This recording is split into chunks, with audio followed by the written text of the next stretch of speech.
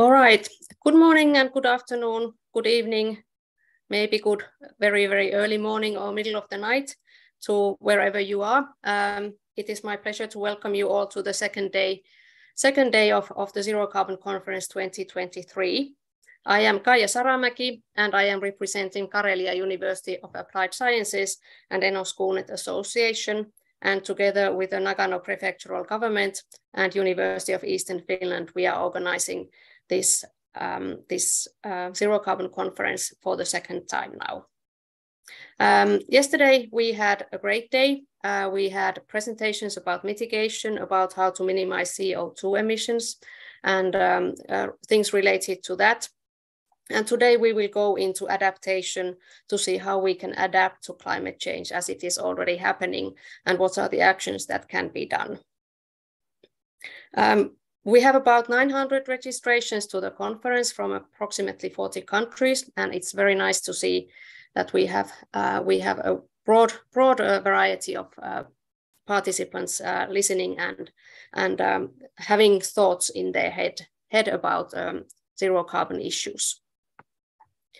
Uh, the presenters today will present a variety of, um, uh, we will have a, a, variety of experts, including students, of course, and the geographical scope of the presenters is also broad. We have presenters from Latin America, from Africa, from Europe, and from Asia. We will start with, with a short speech from, from Irmeli Mustalahti.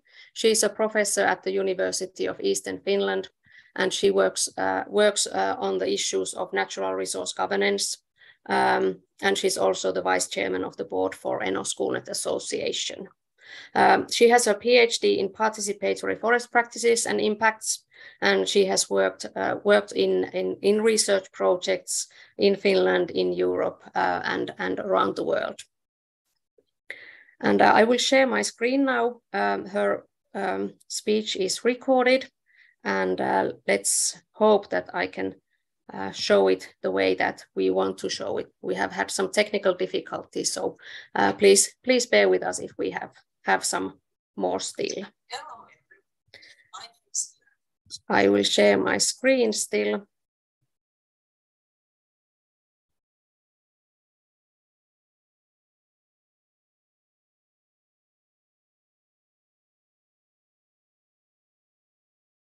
Will wait for it to show.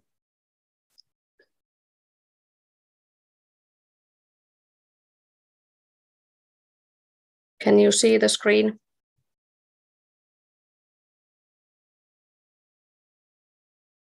I think so. Yes, we see. Hello, everyone. My name is Irmeli Mustalahti, and I'm Professor of Natural Resources Governance in University of Eastern Finland, and also the Vice Chair of uh, ENO Schoolnet Association here in Finland. And uh, also, I have been involved in a youth research project called All Youth here in Finland, uh, which we have been studying the issues related to climate activism youth participation in the society, youth participation in governance. And what we have learned during this six year study is that youth role is very important in our societies. Youth and so called intergenerational co learning between the young people and the adults, it brings the new knowledge and understanding related to multiple crises in our society. Once we talk about the climate governance, uh, you might think that the youth, while they are demonstrative and sometimes participating quite aggressively towards to the climate actions, you might think that it's the negative. But how we understand it, it's a very important way how the youth have been increasing the discussion over the climate crisis their actions during the international negotiations and during their active role in the various movements as Friday movement here in the uh, demonstration in the various countries in Europe. It's have increased also our our adults, our decision maker knowledge what are the values and interests of the young generations in the future. Young generation, they have a new type of knowledge and understanding through their schools, but also various voluntary activities and hobbies. And they understand the sustainability, climate change, and the environmental degradation in the various ways, and of course, into differently sometimes than adults and the decision makers. That is the important way how they are impacting the decision making through their own understanding, but also while they are involved in the society and the governance and the decision making, they also create the new skills to be part actively in the society. And once they are the adults and the decision makers, they are able to make responsible decisions which have a very long lasting impacts in our societies. Thank you.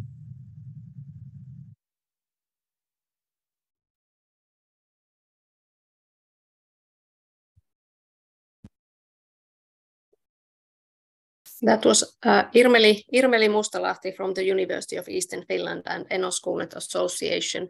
Very important issues on, on how to uh, or how important it is for, for the youth to participate in uh, in in the uh, climate governance, in the natural resource governance. The next speaker we have is uh, Sari Koivula. Uh, she will shortly present to you uh, about um, climate climate issues here in North Karelia. That's the uh, region where we are located here. And uh, Sari has a PhD in forestry, in diversity of ground vegetation in management, managed boreal forests in relation to the properties of the tree stand and site. And she works as a climate and forest expert at the Regional Council of North Karelia. And I will share my screen again. And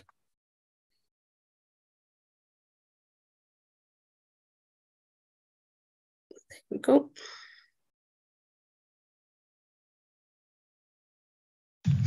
I was asked to tell you some. Hello, I am Sari Koivula and I am working as a re in regional council as a forest and climate expert. I was asked to tell you something about this climate change and North Karelia issue. To answer this question, how to fight against climate change, mitigation and loss of biodiversity, in North Karelia, we see that we need to decrease consumption, decrease emissions, and sustain and increase carbon storages and sequestration. So we need all these three elements to be able to answer and handle that question. And why it is so important to decrease the emissions? It's simply that no carbon sink is able to save the situation alone. If we look at this picture of Harald Mauser from European Forest Institute, there is on EU level the carbon sink and uh, emissions, greenhouse gas emissions. And when we are looking at the carbon sinks, we see that we are talking about millions of tons. But when we are looking at emissions, we are talking about billions of tons. So that means that the gap is so huge that by no means we have no possibilities to have the amount of carbon sinks that should be needed. What is then decreased consumption? How we do it? We need energy saving and efficiency, very current question at the moment, at least in EU and in Finland, in a cold country. We need to uh, increase possibilities and also thinking of circular economy. That means, of course, that the products need to be uh, made to last and repair. And that one thing that it is quite difficult actually is this fashion for decades or years, not for one year or one week, but we need to create a fashion that is uh, current more than one year. And then decrease of emissions. Of course, we need to increase the amount of renewable energy production and use of it. We need to get rid of fossil materials, and we need to have more clean production. And then this sustain and increase carbon sequestration and storages, that is something that we are actually really good in North Karelia. We have climate smart uh, forestry and also nature management has been introduced to uh, forest management. That means that uh, we can increase the amount of dead and decaying wood, standing and fallen trees. We can uh, increase amount of deciduous tree species. Um, we can add living spaces for game. We can protect valuable biotopes and habitats by leaving protection areas around them, etc. So no, we know how to do it. the implementation is still in phase, but we are forwarding, enhancing it. Then uh, we should re-establish where destroyed. For example, if some valuable habitat has been destroyed by accident or whatever reason, it should be established, restored. And then restoration and protection where needed is of course really important. We need to protect valuable habitats, valuable biotopes, valuable species and the uh, environment. But it also means that we should protect the right issues. If we need living spaces for herb-rich uh, species, species that live on rich forest areas, there is no use to increase protection of dry forest sites, for example. Then what mitigation adaptation in North Karelia means how we do it. We created climate and energy program aiming for 2030. It was published in 2021 and last year we published implementation plan for the program. The aim is huge and challenging. We need to reduce the emissions by 30% to 2030 comparing to year 2007 this means really huge amounts of emission reduction from almost 1,700 kilotons of um, CO2 equivalent to 3,500. And even if we would be able to put the biggest so, uh, sources of emissions to zero, it's still not enough. So it means that we need to be able to reduce throughout the whole system. We need actions in all sectors. In the next slide, slide there are uh, a table of those emission resources. Implementation plan then contains actions for mitigation and adaptation, both of these, and it is monitored and renewed yearly. Some examples enhancement of distributed energy production, of course, based on renewable energy. It should be easier for those who are willing to do it. We should have uh, investments. To that, we need to support them uh, by public money, and we need to make it easier to apply uh, permission for this distributed energy production. Then we need investments on low emission traffic solutions. This is, this is really crucial for our region because we are a region of long distances and poor public transportation. That means that we really need uh, private cars and the only way to reduce emissions in those are like moving to biogas or electricity. Then sustaining carbon storages and sequestration and maintaining biodiversity by the means that I presented previously. We are pushing green cities, more carbon sequestration, more trees, more green to cities so that also they take part to this task. We are aiming for climate resilient construction, buildings and living. This goes for, for example, uh, wood construction but also that these buildings are using renewable energy. Uh, people who are living there have uh, their services near them so that they don't, for example, need to travel. uh, to have for a doctor or go shopping. And in that way, we can reduce the emissions of traffic, for example.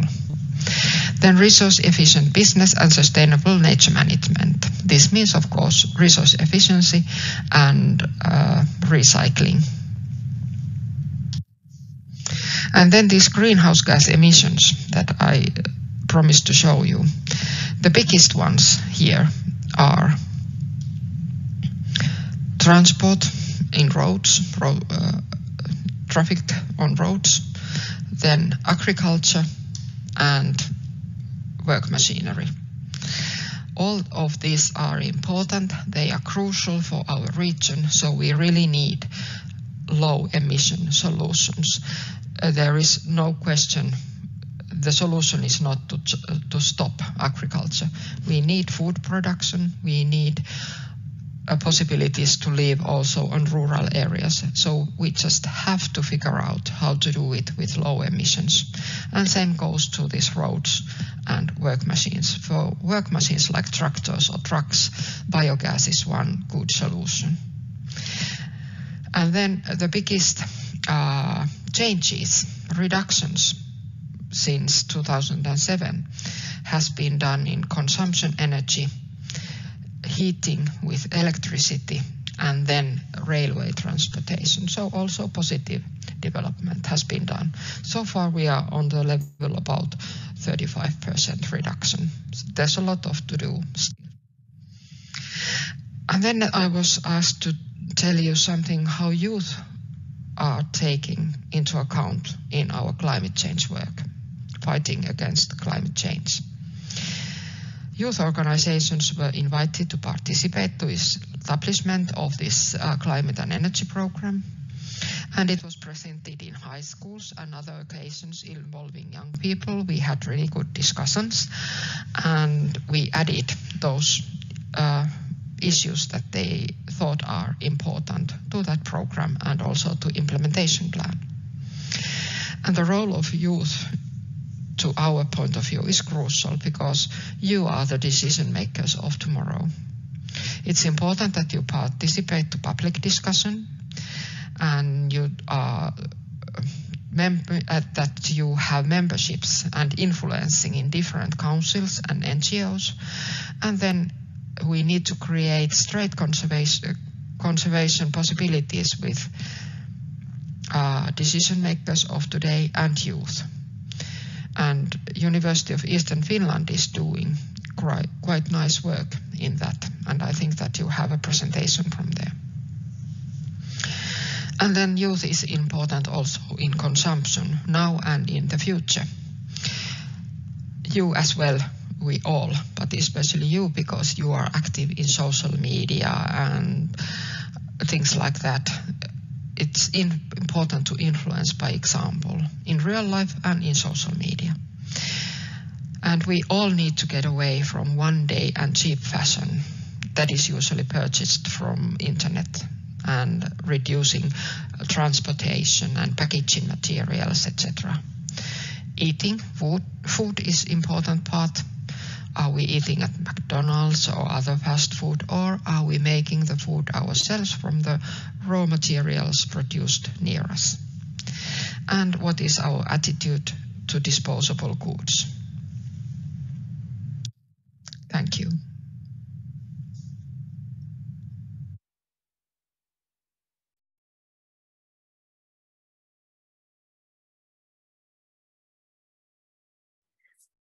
Okay, Thank you, Sari, from the Regional Council of North Karelia about what we have been doing for, for climate issues here, here in North Karelia in the past years or so.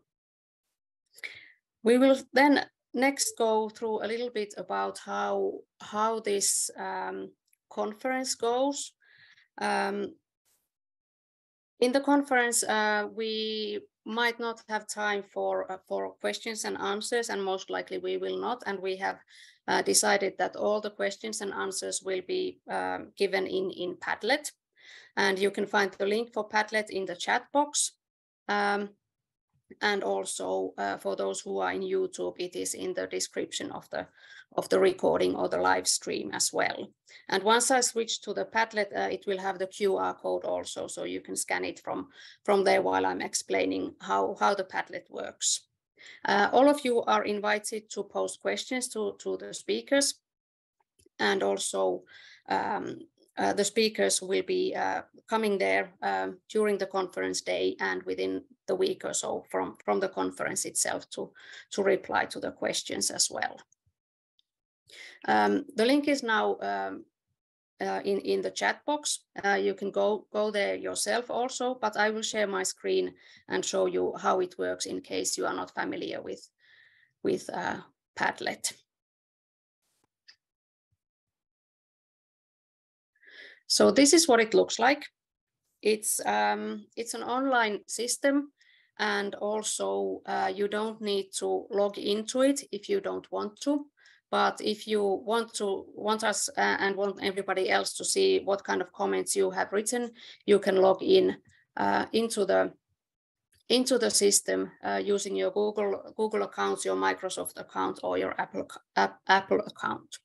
Uh, by default, it most likely will go to the anonymous uh, version, and if you want to switch to um, to logging in, you can click click the top right here it has some kind of an alien ant or something there uh, as, as a means for anonym, anonymity. So you can go there and then you can choose to sign up with your Google or your Microsoft or your Apple account, or you can sign up with an email.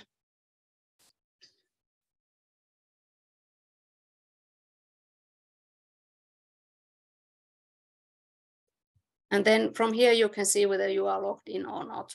And uh, the only thing that it um, mm, affects is that if you are logged in, when you write something here, it will show your name also. If you are not logged in, it will show you as anonymous. Um, you can um, comment to each of the speakers separately here from any of these, for any of these, um, just as a text, um, I will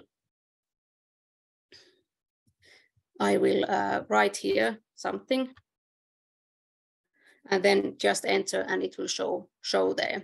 You can edit your own comments and you can also delete your own comments, but not, not the other, other people's comments. So you can uh, tick, tick the um, three dots there and you can either edit or delete your own comments. Uh, very simple, very clear. Uh, and uh, remember to post your comments in English uh, and also if you need to scan the QR code, if you have your camera with you, just at this very moment, you can scan it from there as well. But the link is also available in YouTube and, uh, and in the chat box here in, um, in Zoom.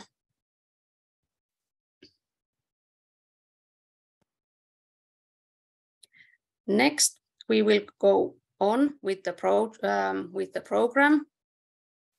And our next speaker, or our first, uh, first um, or, or, the keynote speaker for today, uh, is uh, Felix um, Kalaba from the Copperbelt University in Zambia, in, in southern part of Africa. Uh, he's an associate uh, professor there uh, in environment and development at the Copperbelt University and chief technical advisor for EnviroSmart Solutions in Zambia. He's also been a lead author for the Intergovernmental Panel on uh, Climate Change, the IPCC sixth assessment. Uh, I will be sharing uh, Felix's uh, presentation from my computer and um, Felix will be going through it. So I will switch my own camera off and uh, share his presentation and then we can start in a bit.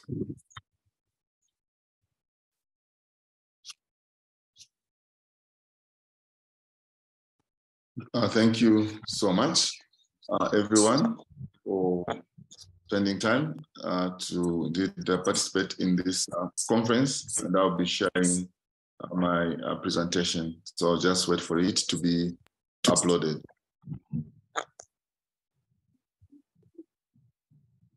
Um,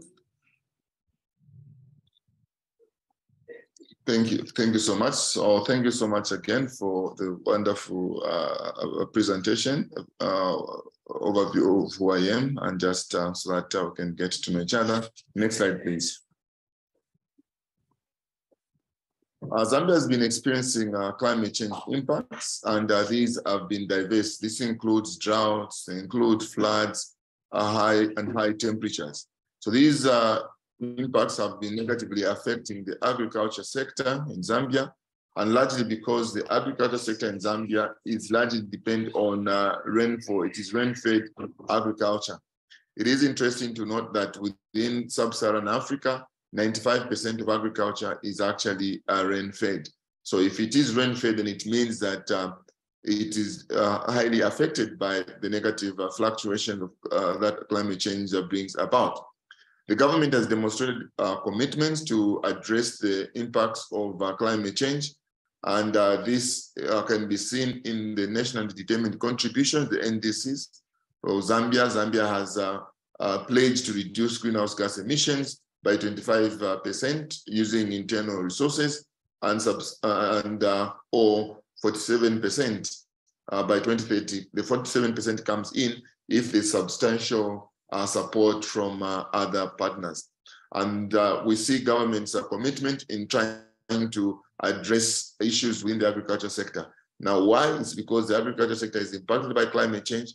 But on the other side, uh, you find that um, the agriculture sector is also a driver of uh, deforestation and uh, forest degradation and has been identified as one of the key drivers. Next slide, please.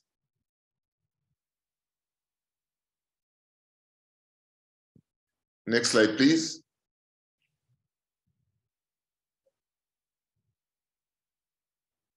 It seems to be a bit slow.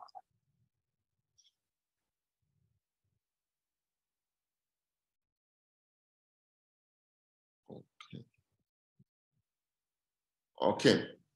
I already mentioned that in Zambia, agriculture is uh, largely rain-fed, meaning that you depend on uh, rainfall. And it is important to note that we have the rainy season, which starts around about uh, November, uh, running up to just about March. But uh, with uh, climate change, you find that the rains are coming slightly later and ending early. And most of the agriculture is uh, not uh, mechanized. And most of the farmers depend on a government program where government provides subsidies under the food uh, input supply program. And this uh, food input supply program, you find that the main crops that are grown under this program is, uh, is maize and soybean. But it is important just to note that um, now there is an interest in growing other crops.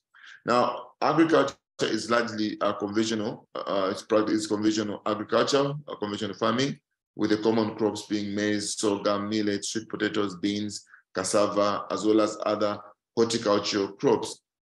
Now, if you were to look at the importance of the agriculture sector to the national, uh, to, to, the nation in terms of the global, uh, the GDP, you find that um, uh, the, the, the agriculture sector contributes 9% to the GDP and is also a main source of income for rural households. And the statistics show that in Zambia, um, over uh, 70 uh, to 80% of the food that is available is actually grown by uh, small scale farmers and not necessarily commercial uh, farmers. Next slide, please.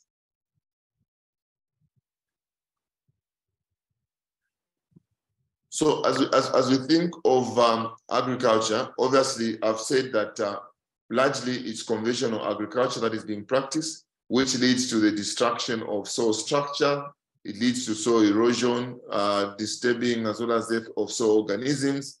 Uh, it, and uh, with conventional agriculture, in the long run, this leads uh, to uh, to reduction in yields. Why? Because uh, the, the, the, the, the fertility of the soil is actually lost. The other thing that you notice with conventional farming in, in Zambia is uh, increase in occurrence of pests, which affect the crops. There's also destruction of forests where shifting uh, uh, cultivation or shifting slash and burn is, uh, is practiced. And as it is practiced, it uh, contributes to emission of uh, greenhouse gases and worsens uh, the impacts of climate change. So it is important to note that climate change has got its own negative impacts, but the activities that human beings are, uh, are involved in, even including in the agriculture sector, are actually exacerbating or increasing the negative impacts of climate uh, change. Next slide, please. So what are some, what is the summary of these impacts of climate change that you are currently experiencing in Zambia? One, declining rainfall uh, in the, uh, the rainfall and uh, reducing rainfall season. Now, I've already alluded to the fact that uh, most of the agriculture here in Zambia and uh, sub-Saharan Africa is dependent on, rain on rainfall. So it's rain-fed seasonal agriculture. As a result, the declining rainfall, this has, is having negative uh, impact. The other challenge is the frequent drought and dry spells. So there are increasing droughts in the region as well as dry spells. Now, with dry spells, you will find that uh, you have the normal rains, but they just delay in terms of uh, the days that you have rain. So you find that you have a dry spell at a critical period. For example, uh, plants are supposed to germinate, and during that period of time, maybe there's a dry spell, and the rain only for maybe a couple of weeks later. So this leads to the death of, uh, of, of, of, the seeds.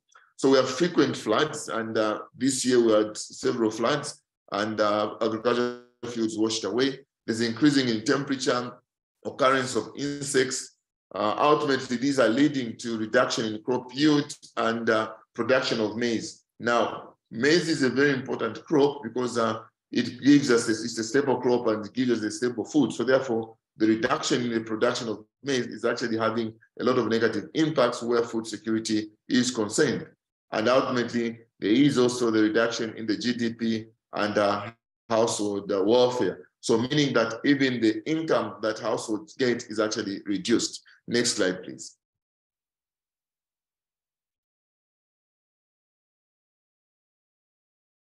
So declining rainfall season, which I've already alluded to, the duration of the rain season has reduced over the years. The climatic conditions have become now less predictable. And there's very little early warning systems that are, are, are available. And the production period has therefore reduced. High yielding varieties, such as late maturing maize varieties, however, can uh, not grow in some areas. So you find that some of the high yielding varieties can no longer grow in uh, some areas, they can only grow in other areas. Now, I'm providing this background so that we can see the agency of um, looking at uh, practices that will help us adapt to climate change. Next slide, please.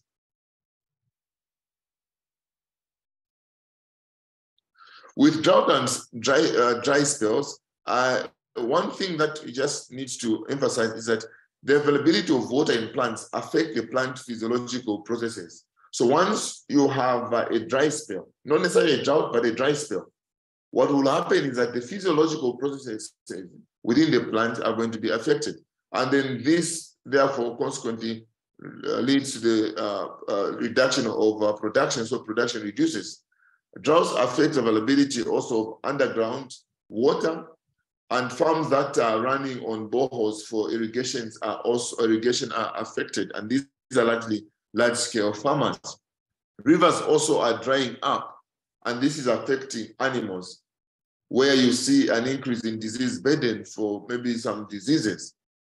And this also affects pasture and fodder quality as well as quantity. So the fodder which uh, animals are supposed to uh, feed on is reducing in quantity as well as in quality. And by quality, we mean the, uh, the nutritional uh, uh, uh, content. Why? Because of the uh, physiological pro processes that are actually being affected. Next slide, please. With floods, I must mention that with, with, with, with, floods, what we experience experiencing mainly is the washing away of uh, uh, crops. And this is happening at a great cost to the farmers because they would have prepared the land, they would have uh, spent a lot of uh, money uh, in, in taking care of the crops. And when floods come, they end up being uh, negatively affected. And then this leads to soil degradation. And then it also leads to cause and to, to causes death of livestock. Next slide, please. So from floods, we move on to increasing temperatures, where increasing temperatures are affecting also the physiological uh, processes of plants as plants tend to wither.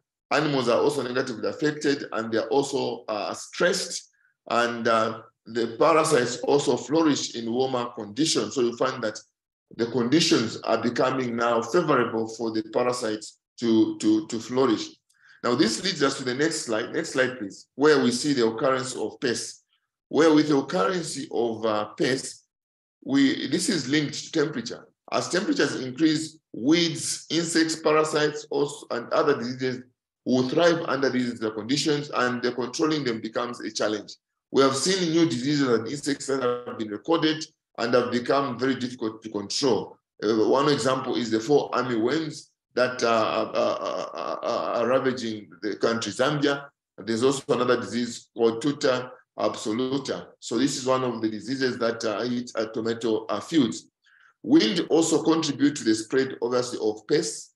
Uh, wind also damages, you know, the uh, farm infrastructure as well as uh, crops. And the cost of production has therefore increased due to the number of inputs that are needed for you to control pests. You need to buy a lot of heavy, uh, uh, insecticide and pesticides.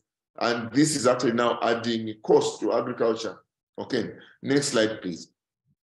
So this therefore now leads to reduction of crop yield. And I must mention that all these negative impacts of climate change are leading to the reduction of uh, crop yields and also reducing food security as well as uh, nutritional security. Next slide, please. As these reductions are seen, we therefore now also see um, a reduction in the contribution to GDP, contribution to the income of the nation. Next slide, please. As production uh, uh, reduces, the contribution of GDP also reduces, employment creation is affected. Now, this is important because we're looking at a country where unemployment levels are very high, household income generation reduces, and uh, household welfare also reduces. So in view of all these things that are happening, how then is adaptation uh, taking place within the agriculture sector? Next slide, please. In terms of the agriculture sector, there are a number of interventions that are being put in place. One of them is the promotion of agroecology. Now, with agroecological uh, principles that are being promoted, we're trying to look at uh, how can we use seeds that uh, are, are, are, used maybe to, uh, to, to, the region. How can we uh, ensure that we reduce on, on tillage? So the agroecological uh, agroecology is where we engage in various practices that try to, uh, to, to, to, to, to, to, maximize on the current uh, environment and reduces on the use of uh, uh, uh pests. Then the other thing that is being promoted is climate smart agriculture. Now, with climate smart agriculture, we are basically looking at what are the current agricultural conditions that we, we, we have, and then you start saying what um, mechanisms uh, can put uh, can be put uh, in uh, in place to help uh, adapt to climate change. So a number of uh, interventions are, are, are, at the moment taking place in Zambia, and we see a number of Uh, uh, firms that are supporting this among uh, among, among, development agencies. So they are all promoting climate smart agriculture. And then there is also promotion of agroforestry. Now, agroforestry, we are looking at uh, agroforestry uh, uh, practices, and with agroforestry, we're trying to have more of an integrated system where you retain uh, uh, agroforestry tree species. Now, agroforestry is now contributing both to adaptation and mitigation. One of the tree species that is being promoted is Faidherbia albida, which is referred to as a fertilizer uh, tree species. And this is actually helping uh, in improving the soil, uh, soil. But not only that, there's also now the integration of animals on agricultural land so as to ensure that uh, uh, the, the, the, manure from animals can then be used in agriculture in, in agricultural fields. Then the other thing that is also being uh, uh, promoted now is um, organic uh, organic uh, farming. Now, with organic uh, farming, this is being done on on on a, on a small scale. Now, one of the things is that when you look at organic farming, um, the the biggest challenge that a number of people are, are having is actually um, labor costs because with organic farming it has with its own uh, it comes up with its own uh, on on uh, costs so i must mention that uh, with um, these methods that uh, i've just uh, mentioned with climate smart agriculture it is very integrated also.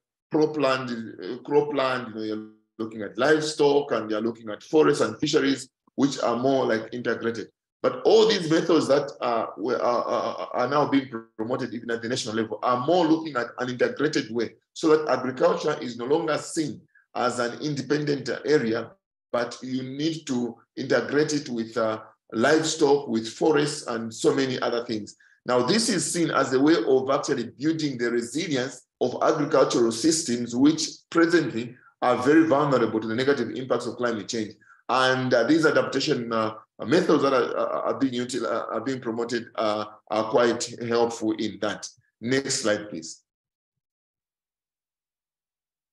Now, what you see here, there is just uh, uh, one of the fields where uh, uh these practices are being uh, promoted. Now, this is in the southern part of the country where uh, they are experiencing a lot of droughts, reduced precipitation. So what you do in this case, if you can see from that picture, they have planted the orchard, uh, planted uh, some oranges there, and um, you plant them in such a way that you maximize uh, in, in the whole so as to maximize, you know, the, the water. So you do a little bit of mulching, you want to maximize the water. So one thing that we need to draw lessons from this picture is just the fact that different conditions will require maybe maximizing on water. In other places that are prone to flood, you may need to actually open up the area so that the water easily drains.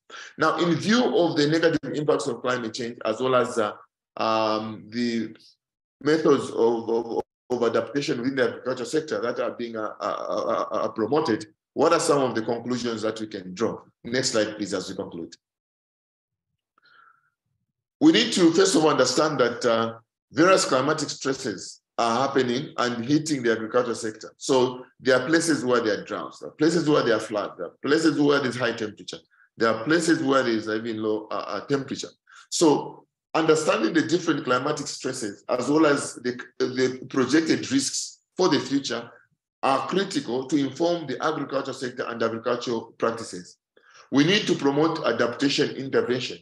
And these adaptation interventions must be in line with the various climatic uh, uh, uh stresses that are, are being experienced in different areas. In the agriculture sector, we need to strengthen early warning systems because for adaptation to work effectively, there's need for early warning systems to be uh, uh, to, to, a lot of investment in early warning systems, which at the moment are quite poor. There's need to diversify uh, livelihoods uh, the majority of the people depend obviously on agriculture and on the single crops, the maize or maybe the soy, but we need to diversify the crops that are grown as well as look at diversification of livelihoods. Last but not least, we need to maximize income that is generated from the agriculture sector. And one way of maximizing this is to promote value addition of agricultural products. At the moment, a number of farmers that are negatively uh, experiencing the impacts of climate change are getting very little even from the agriculture due to the prominence of crop failure. So one of the key things that will be required is to ensure that moving forward, there's a lot of value addition so that the income that is generated is, uh, uh, is more to support livelihoods. Now, there is a cycle. We need to appreciate that with the reduction of income comes unsustainable agricultural practices as people try by all means to maximize uh, on what they want. So it is important that agricultural production uh, and the agricultural sector uh, benefits from uh, value addition, which at the moment is poor. And I must say that moving forward, the future of agriculture in sub-Saharan Africa is will not just be in production, but to be about post-harvest handling and uh, value addition. With those words, thank you so much for listening.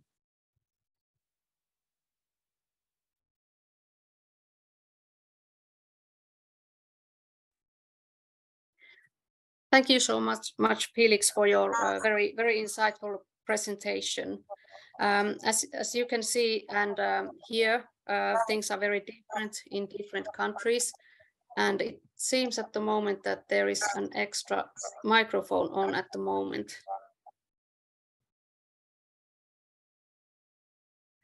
Coming a little bit of background noise there. Okay. Yes. So uh, thank you, Felix, very much much for your presentation and, and a viewpoint to, to how to adapt to climate change. Um, and uh, especially for us who are not uh, living in the southern part of Africa in, in, in those conditions, uh, it's interesting to see how different it is from, from the um, effects of climate change that we have here in, in Finland or in Europe or northern part of the world and so on. And uh, just a reminder about the Padlet for everybody that uh, you can post questions in, in Padlet and uh, Felix will be replying to the questions there. Thank you, Felix. Then, oh, then we have the next speaker um, in line talking from his own own point of view about his own company uh, we have uh, Satoshi Miyajima. Uh, he's a co-owner or, or the owner of the Miyajima Brewery Company, making um, locally rooted sake in in um, in Nagano. So please go ahead, Satoshi. Uh, the floor is yours. Thank you for your introduction. Hello, everyone. My name is Satoshi Miyajima. I'm uh, the owner of locally rooted Japanese sake brewery, Miyajima Brewery Company. Our brand name is Shinano Nishiki. Shinano means Nagano Prefecture. Nishiki means the great nature. Our company was established in 1911. Then please listen to my presentation. Uh, less cultivation with emphasis on soil cultivation. Not using chemicals on farmland as much as possible. 20th century farming developed with the use of many agrochemicals and synthetic fertilizers to increase productivity. However, it has not been fully discovered how the chemicals and the chemical residues that have flowed out are affecting the ecosystems of microorganisms and more. If we adapt uh, pesticide-free farming to control the usage of agrochemicals and synthetic fertilizers as much as possible, it can maintain a safe and secure water system and protect abundant diverse ecosystems of farmland and its surroundings. leading to the control of greenhouse gases.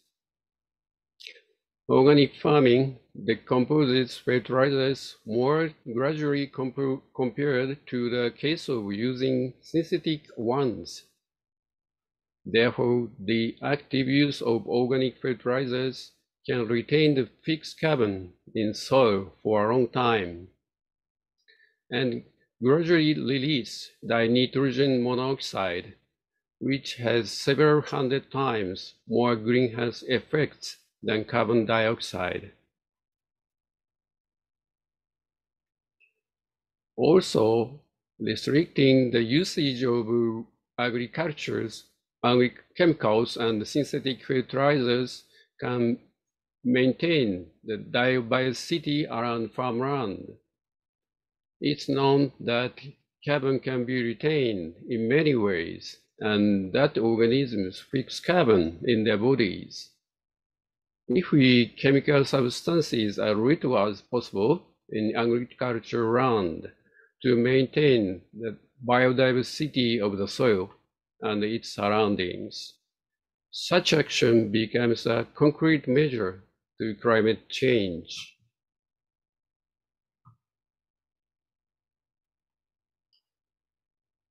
Sake brewing using low polish rice. Stop over polishing rice Since the end of 20th century, a food crisis has been warned along with a vasting population. After entering the 21st century, the dry weather, abnormal growth of grasshoppers, and other situations due to climate change have brought about the food crisis. Going forward, sake brewing will struggle with a growing food demand in the raw material procurement stage. We are on the verge of a situation where we can't brew sake without first securing rice as food. As a result of the rice processing technology has been highly developed, a census value fixed uh, highly pasteurized sake is the best. Sake that use, uses a lot of energy to pasteurize and has high food wastage has become popular. It's time to try sake brewing with raw polished rice to appreciate earth blessing. However, we should keep in mind that tasty sake also can be made of low polished rice that is a similar polishing rate to that regular grain of rice that we eat.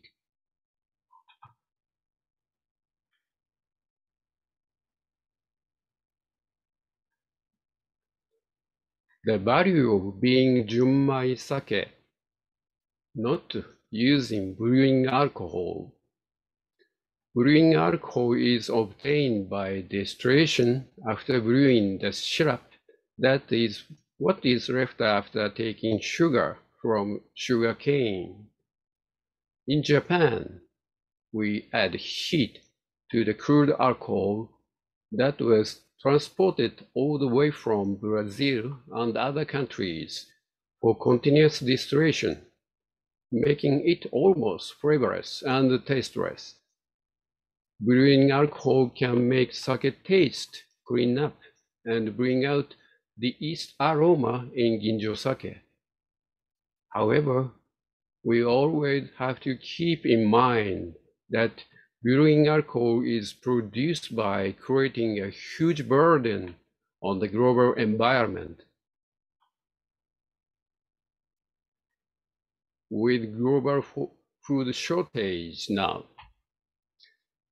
the price of brewing alcohol has already risen significantly. It is assumed that the price of brewing alcohol will jump more over when the carbon tax is introduced. But before that, I think many breweries should think over the environmental road and choose to make Junmai sake without using brewing alcohol.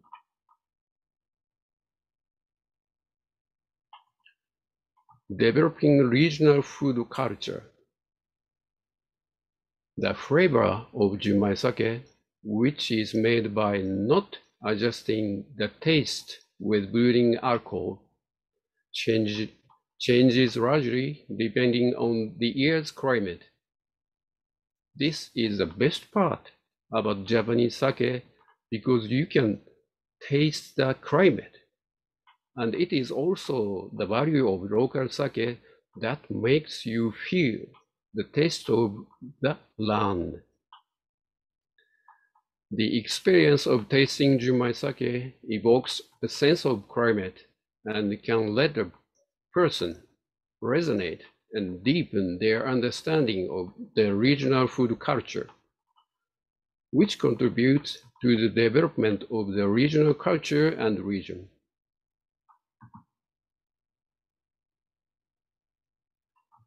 Locally rooted sake brewery local production for local consumption and self-sufficiency.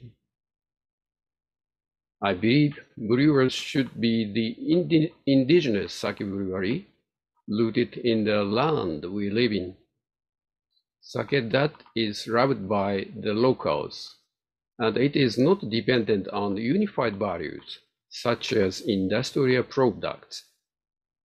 As a member of a local community, we can con continuously contribute by brewing sake using local produce and by enjoying the sake with the local foods made by the locals.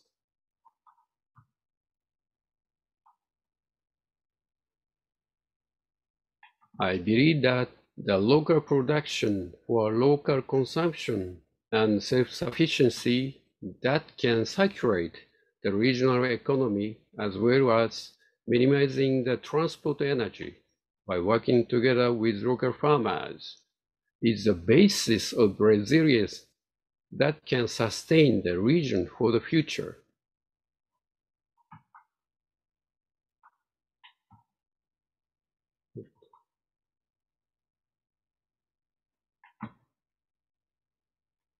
Our effort for label-free bottles, thinking for social environmental load.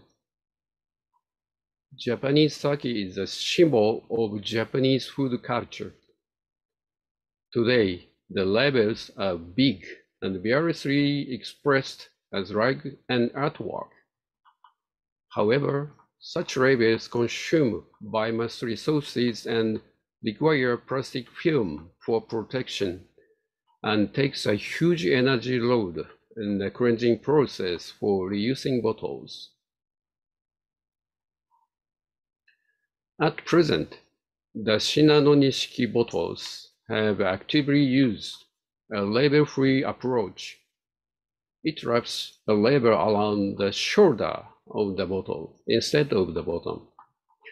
This type of label saves resources and can be peeled off easily, which greatly reduce the load of cleansing process for reuse.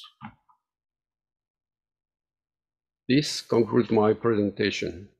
Thank you for attention.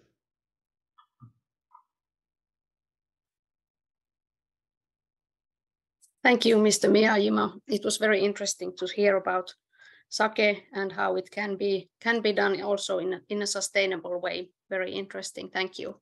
Thank you. We will then move forward and uh, come to Finland for, for a bit.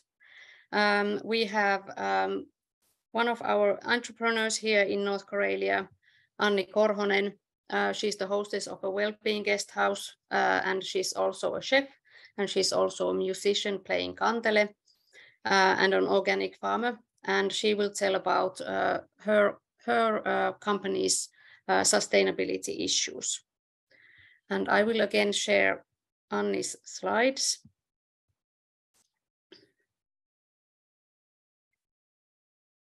Here we go.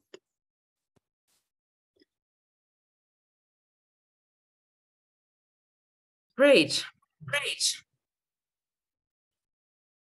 And I'm very pleased uh, to speak you about this very very important issue. And uh, and um, this uh, how we all can do something about climate change and how we can how we can adaptation us to climate change.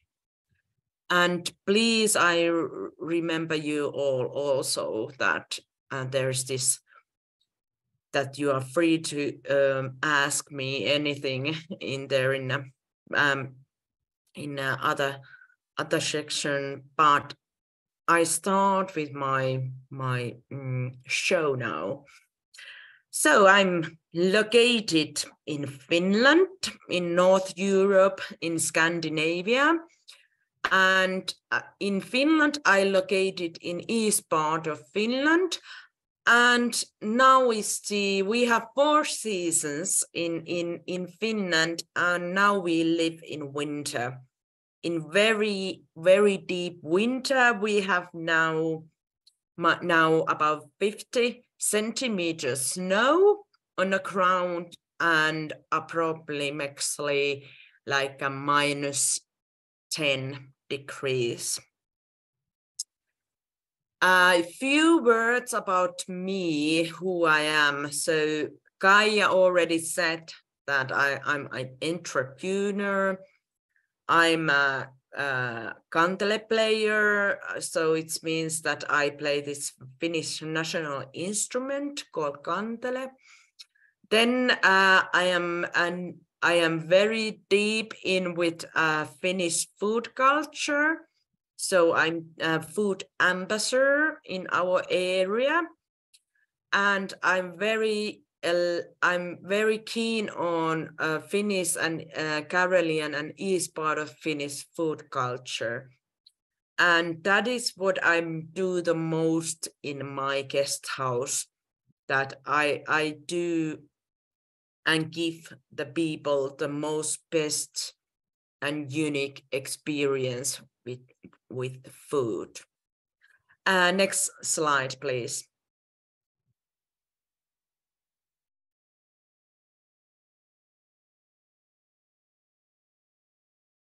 So uh, our guest house, few words, our guest house, uh, before I go deep with the adoption in, in, in travel industry.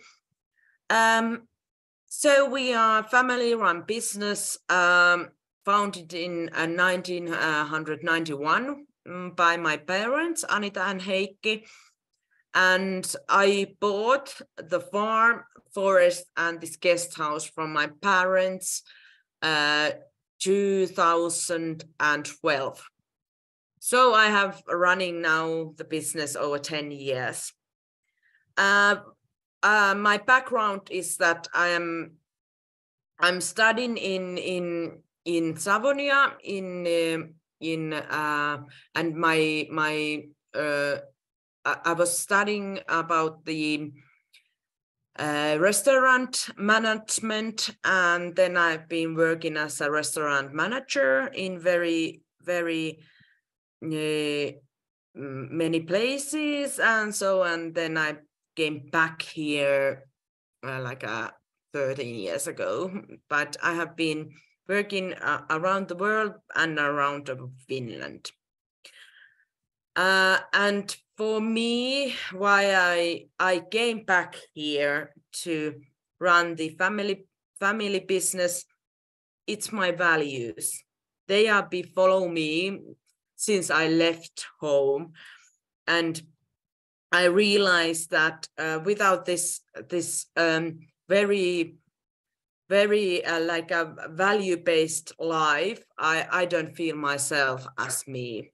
So I I needed to quit my my very good job uh, in in Koli because I I felt myself that I don't follow my values but now when i'm i'm doing this uh, here in finland with my guest house i can be um, i am sure that i can uh, follow my values i can share my values to our guests and that is always have been very important to me that i can explain to our guests that uh, how how i do things and how the what are my values and why I want to do this.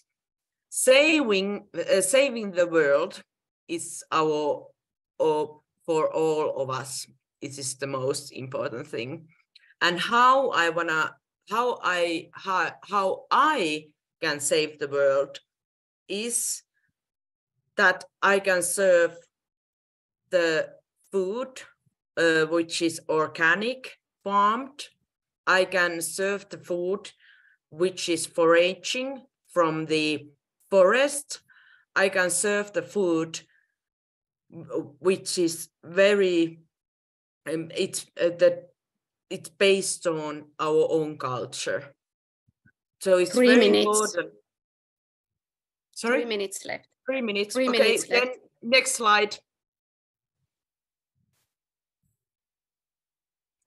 Then uh, to the subject, uh, how we can adoption here nowadays, uh, our our climate change effects. And I need to say that wh- where we see the most the climate change is our winter. It's going to be shorter and it's going to be less snow and so on.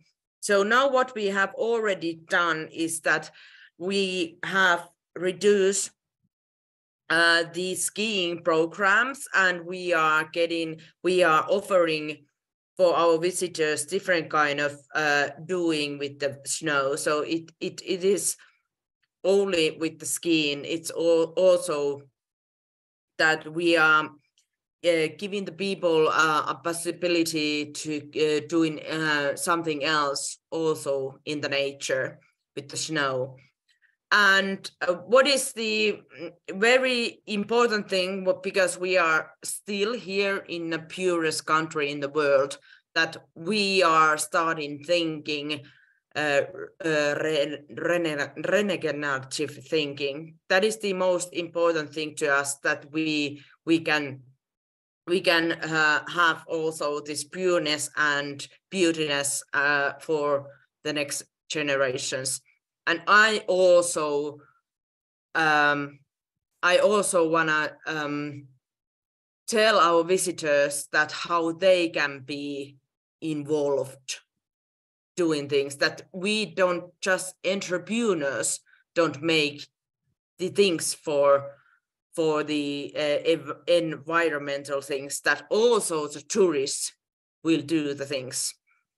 And um, there is very uh, two things for me which are very important now that i can do do uh, um, very mm, very good things for for environmental issues and also sustainable.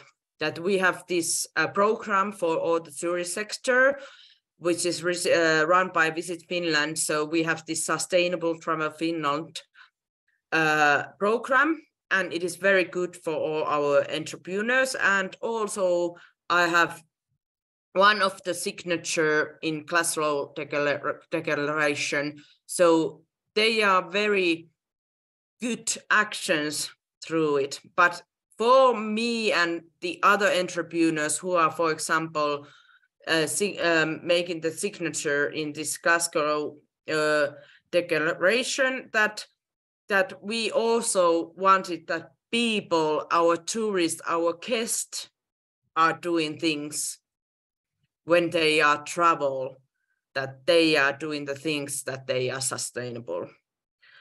And for me it's always been very important that when we do the sustainable sustainable tourism that we are we are very honest with ourselves we are ourselves and we we do we don't we don't do any things that are not good for us too.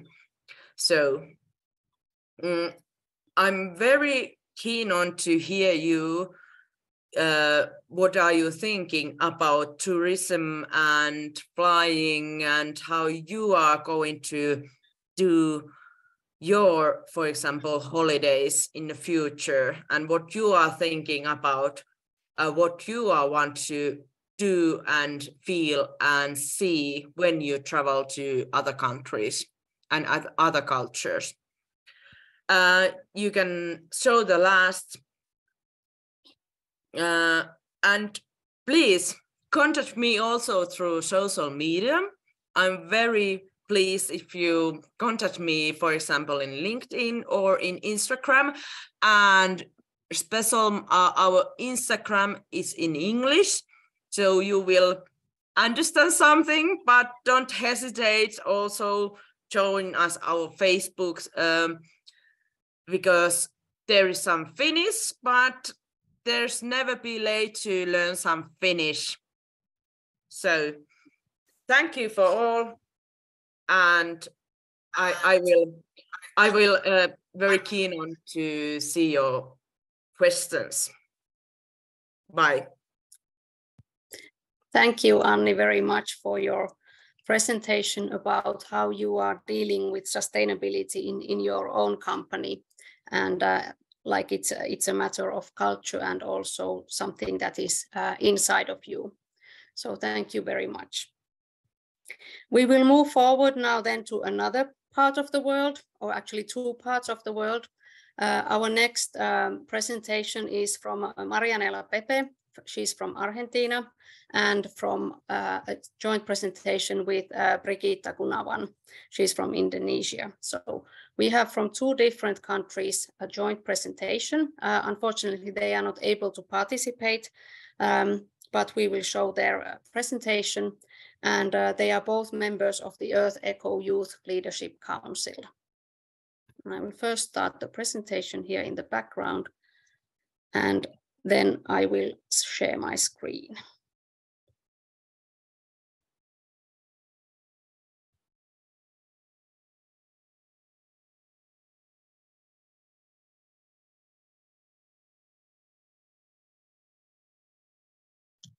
Hi, my name is Marianela Pepe. I'm from Argentina. I'm part of Earth Echo's YLC with uh, Brigitta Gunawan. The YLC or Earth Echo's Youth Leadership Council is a team of young environmental leaders who play a key role leading Earth Echo's education programs while developing and implementing campaigns to mobilize young people worldwide to protect our ocean planet. In this case, I'm going to talk about my own country, Argentina, um, and I'm going to talk about tourism in Argentina.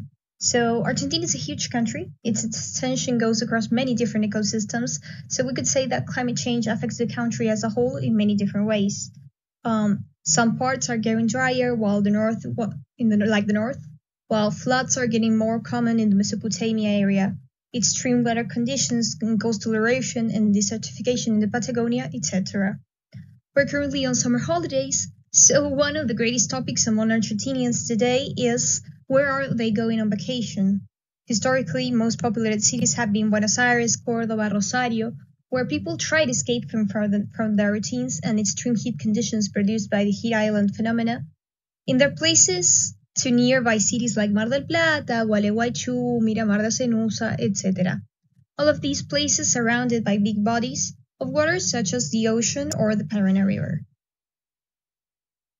So quite after um, internet and social media exploded, people from the Patagonia started noticing that their places were receiving more and more people who decided to start spending their summer holidays in the northern Patagonia, as there there were extreme heat waves uh, were also becoming an issue during this summer in in the Atlantic coast. So hotels started getting fuller, and of course, um, things start happening. Uh, many tourists aren't aware of how to take care of these places, and it's it's a hard work letting tourists know that what they're doing might be good or might be catastrophically wrong for the area. So as forest fires started increasing due to tourists not knowing how to how and where to make fire, signalization increased as well about uh, fire risk, about how to make a good fire, and also we started teaching people, not only tourists but also locals, how to take care of their own environment, and also um, spreading the news with social media outreach about how to take care of the places where you go on vacation. And now I'm going to leave you with Brigitta, who's going to talk about Indonesia. Hi everyone, my name is Brigitta. I come from Indonesia, which is colored in red in this map. So, as we know, climate change is affecting the globe in so many different ways. And in context for Indonesia, surface temperatures are increasing per decade about 0.2 to 0.3 degrees Celsius and patterns are changing where there are different parts of the country experiencing hotter weather and also wetter seasons. And this also affects the risks of floods and droughts in different parts of the country. Impacts the biodiversity, for example, declines in fish larvae. There is also coral bleaching, habitat loss, and it is also impacting human health.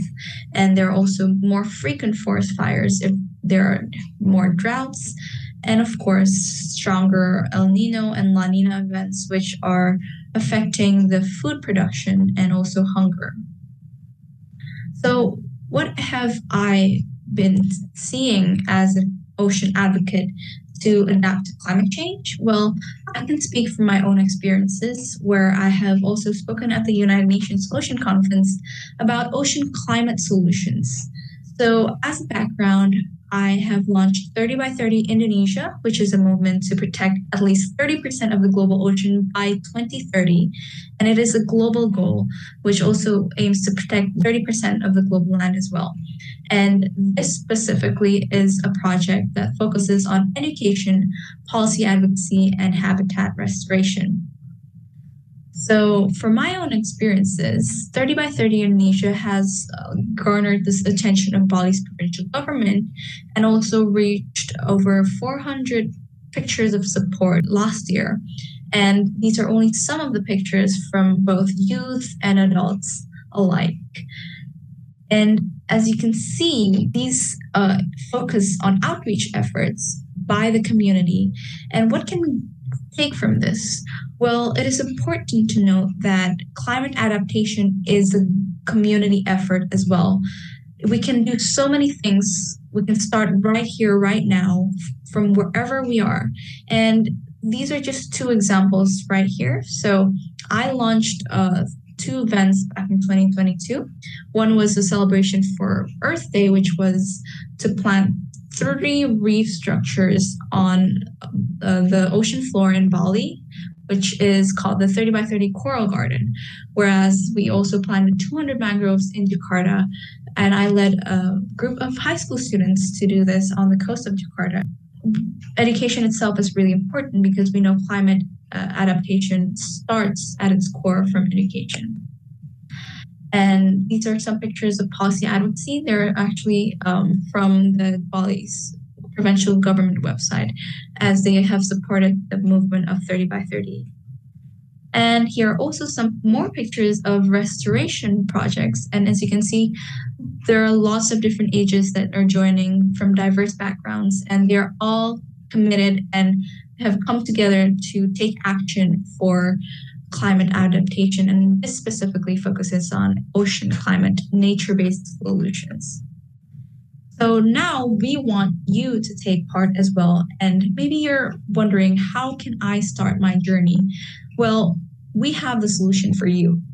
Marianela and I are personally inviting you to join Gen Z. All you have to do is head to joingenc.org. It is a global platform where you can share your passion for networking, learning, and take collective action together as a community from wherever you are around the globe. So you can build your profile and create connections and also amplify your impact. So we invite you to just watch this quick video and we'll see you on Gen Z. We are Gen Z.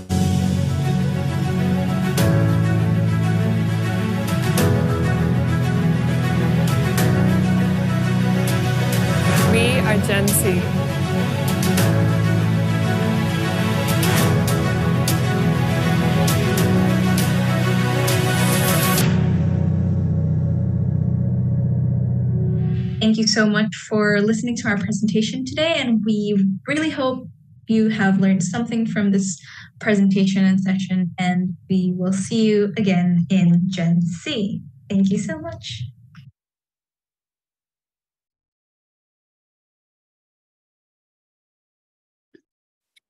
Okay, a virtual thank you to, to Marianela and to Brigitta a very nice presentation and a very good call for action also for all of you to participate in. And I especially liked, liked the fact that there were um, also mentioned about how the community needs to be taken uh, taken in, in the climate actions and how how um, the community is also important. So not only individual people, but also communities as well as governments and uh, international organizations, of course, but, but uh, taking the community perspective is, is also very important. We will then move forward again with our program. And um, like you have maybe noticed, we have had some technical difficulties today uh, with the presentations and, and um, it has been um, difficult for, for some, some to share their presentations. And also with the next presentation, um, we were um, we were uh, having uh, Leonardo David Hidalgo Ortega from Peru. Um, I will uh, present him, but unfortunately the video wouldn't play for us uh, when we were uh, testing it. So uh, we will upload his video to YouTube, uh, ENO YouTube um, uh, today. And also in ENO YouTube, you can find some additional videos from yesterday as well, which were not shown during the, during the um, conference itself.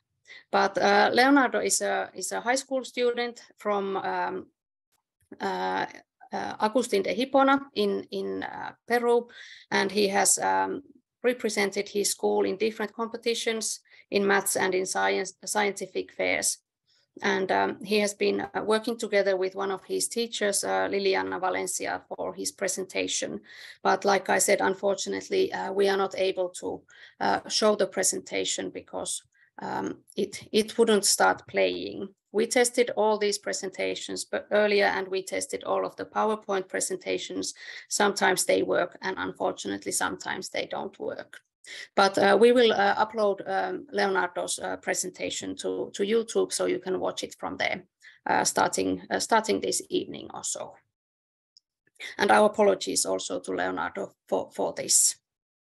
Um, the next one is um, Leo from, uh, from Kenya.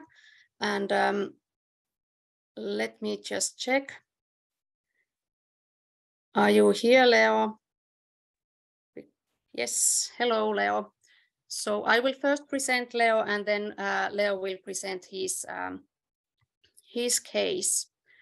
And um, Leo is from Kenya and he's studying, studying there uh, in the vocational school, Kisumu National uh, Polytechnic School uh, in, in the environmental program um, and also part of the uh, institution's environmental club.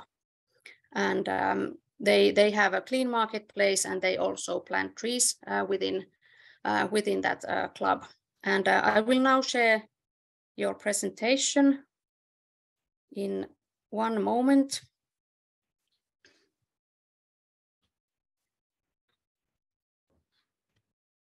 and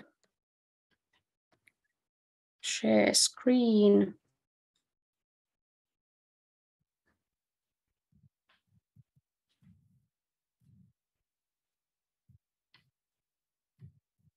Can you see the presentation? Yeah, I'm able to see it. Okay, all right. Just tell me when to uh, switch to the next slide. And if we experience some very severe uh, network uh, uh, problems, we can stop the presentation and we can also upload a recorded presentation from you to the YouTube. But please go ahead, you can start your presentation.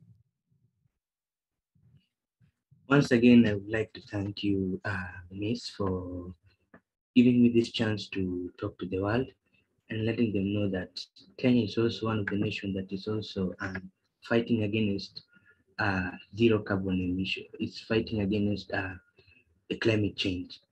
Uh, uh, as you know, I come from Kenya, which is known for, which is the pride of Africa, and we are known in uh, sports like rugby, tourism, and uh, marathon. Um, today I'm going to talk about the climate change adaptation for net zero carbon emission. And I'm just going to talk about a little bit Next page.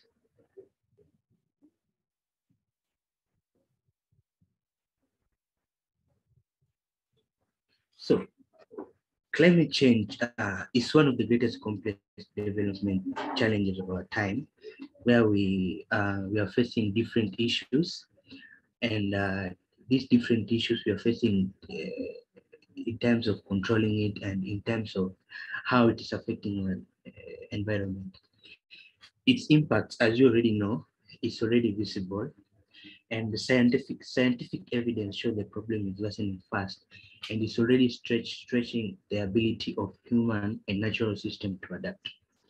In Kenya, most sensitive sectors of the economy, such as agriculture, in which it accounts the, the highest GDP of our nation, and we have forestry, energy production, health, it, internal security, are threatened by climate change according to studies by the National Environmental Management Authority, an, organization based in Kenya. I'm going to talk about how climate change is dealt with today and how it will have a direct bearing on human development prospects in future. Next page, please.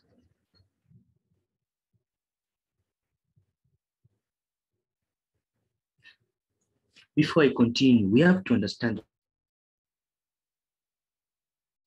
the term adaptation. And we know the term adaptation encompasses a broad range of responses that help governments, communities, and individuals cope with the impact of climate change. And how can we respond to the climate change? It requires two, it requires action on two fronts. Number one, we have adaptation to the consequences of current and future climate change. And the second is mitigation of climate change by drastically reducing global greenhouse gas emission and avoiding future emissions in development in developing countries and ensuring carbon sink like the rainforest, rainforest are preserved. Adaptation can be the adjustment in economic, social, or natural system in response to actual or expected climate change to limit harmful consequences and exploit beneficial opportunities. Next page, please.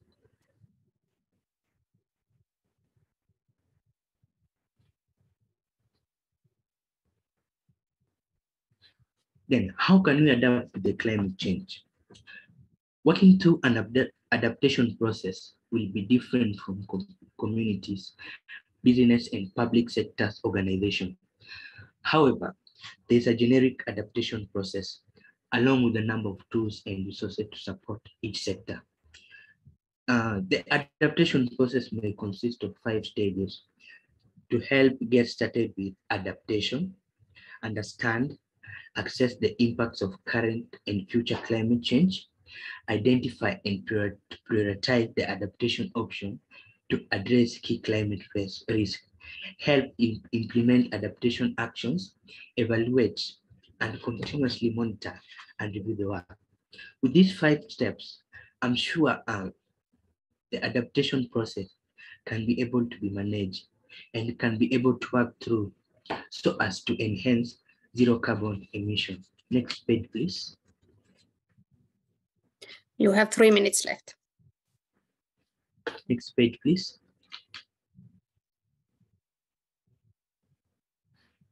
And number one, we start with getting started, in which we have the process, finding about the impacts of climate change, understanding why the impacts of climate change matter, raising awareness, and tackling next steps. Next page, please.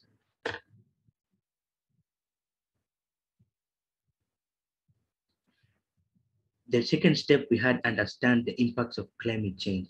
And the process in this stage includes learning about past climate trends and future projection, understanding how your place, assets, services, or priorities have been affected by severe weather events in the past, and uh, considering how your place, assets, services, or priorities might be affected as our climate continues to change. Next page, please.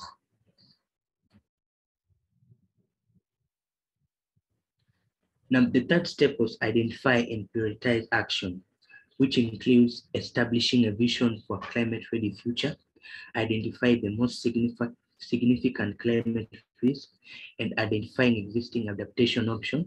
And the last is examining what further action is needed. Next page, please.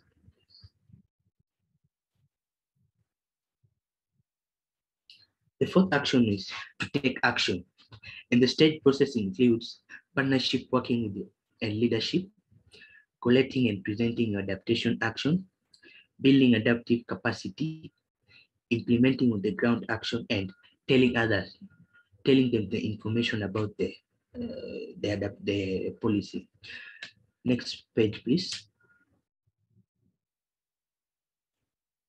The fifth step, which is the last step, was monitor, review, and evaluate. And the process includes monitoring and reporting progress, reviewing regularly, reflecting on what has worked and why. Then the last is evaluating the outcomes and the uh, the, possi the possible impacts from the project or the policy. Next page, please. Climate Change Action Plan. Through the National Environmental Management Authority, uh, there is the first change action plan is emission reduction, in which we have renewable energy and efficiency, which we have to implement the use of renewable energy. And through transportation, which we have to control the, uh, the emission of carbon by the introduction of uh, electric cars. And through waste management, is through uh, proper waste management, and proper, proper disposal, and proper ways of handling waste. Through industrial sources is how the industries can uh, manage their waste, how the industry can uh, control the uh, emission of uh, carbon in the environment. And we have uh, all other emission reductions. Next page, please. Adaptation to climate change. The adaptation already impacting communities and commerce, seasonal, seasonal uncertainties, water concern, habitat and ecosystem changes, health and public safety, resource industry sectors impacted. The do thing approach will in, will result in greater cost, vulnerability and risk, which will be risk assessment to identify vulnerabilities and priority actions, climate proof development decision, strengthen measures to protect coastal areas, adaptive management of national resources. Next page, please. And uh, I will give you one minute.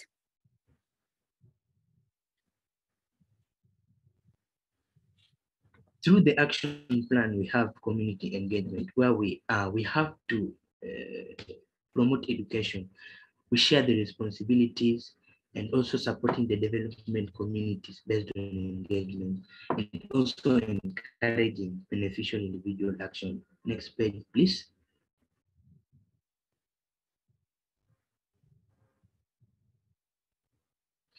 Conclusion, scientific evidence on climate change and its impact is conclusive. Climate change is concentration problem as we as well as an emission problem and both mitigation and adaptation is needed in an effective. And to conclude this, we have to introduce the three R, the three the use of three R's, which is reduce, reuse, recycle, and reabsorb. Next question, next page, please.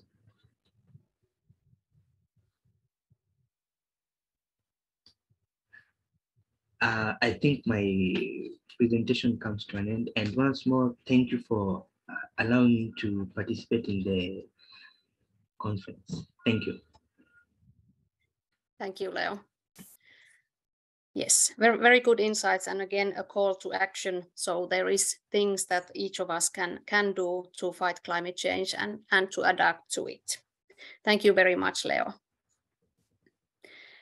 Then next in the program, we have um, we have a student from from Japan. We have uh, Ryusuke Inouchi, and he's studying at the Faculty of Textile Science and Technology at Shinshu University in the Nagano Prefecture. So um, please go ahead. Okay.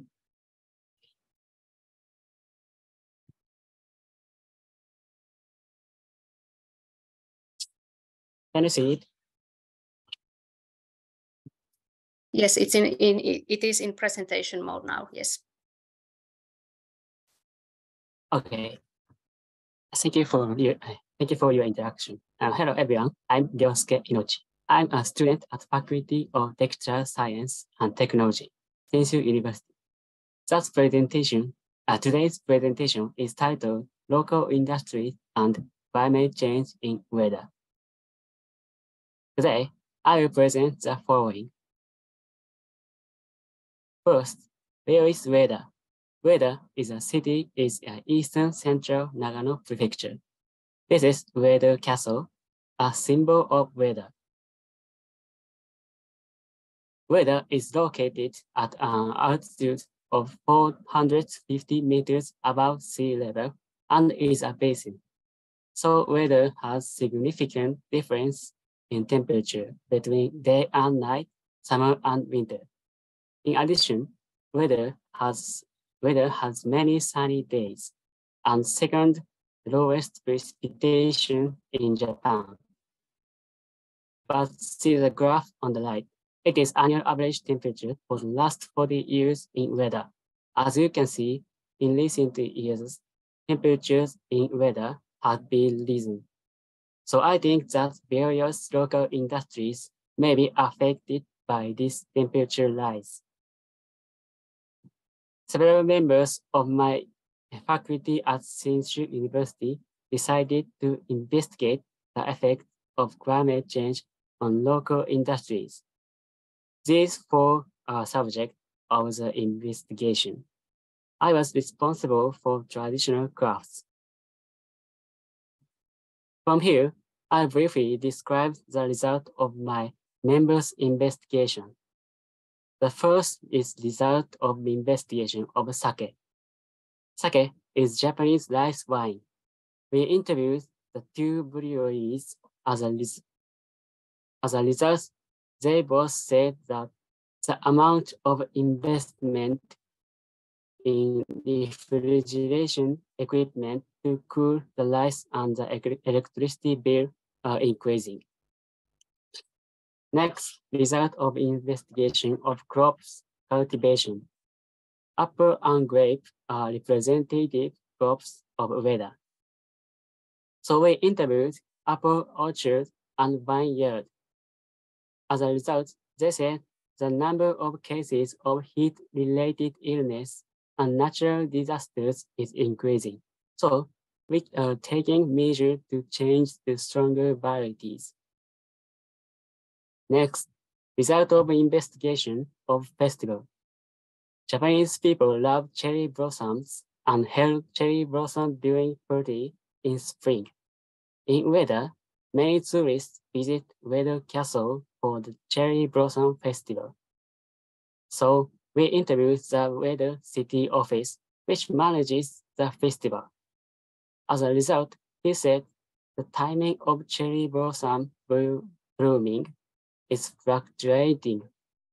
This may affect the period of the festival and the number of visitors. From here, I describe the result of my investigations. Ueda has long been famous for its sericulture industry. Today, the silk fabric called Ueda Tsumugi, designated as a traditional craft, I interviewed Koibai Tsumugi workshop. Koibai Tsumugi workshop does dyeing, warping, waving, and making into products such as a wallet.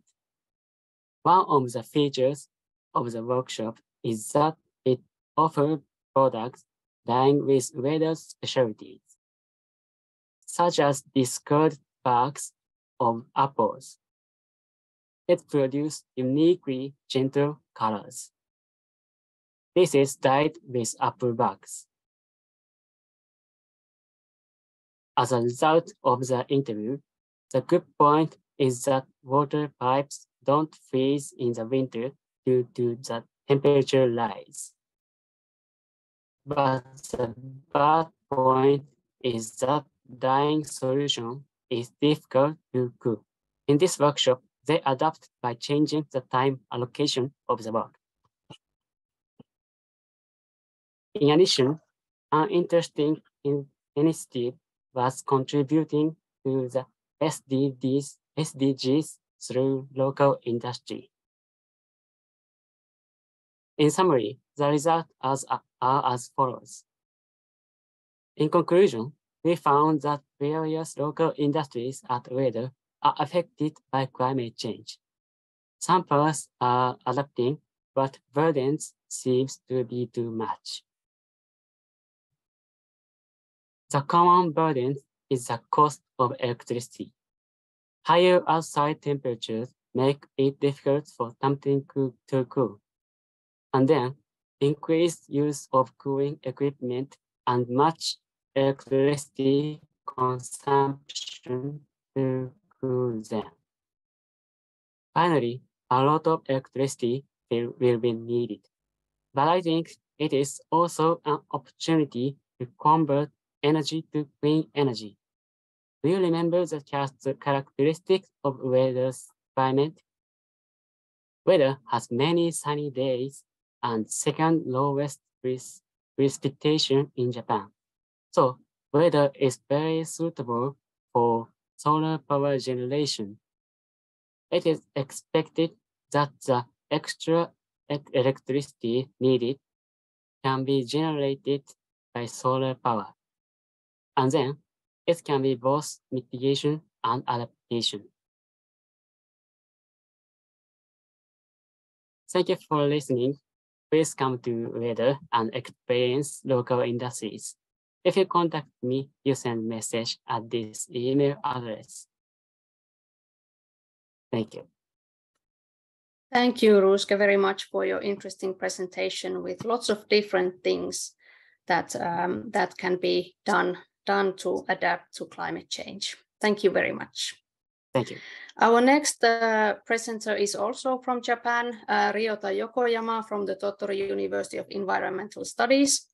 Uh, so please, Ryota, the floor is yours.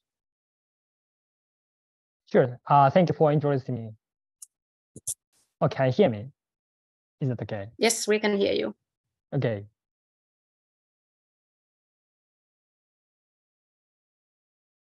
Hi everyone, I'm giving presentation titled Environmental Education for Reconnecting Relationships Between Human and the Environment in Agriculture.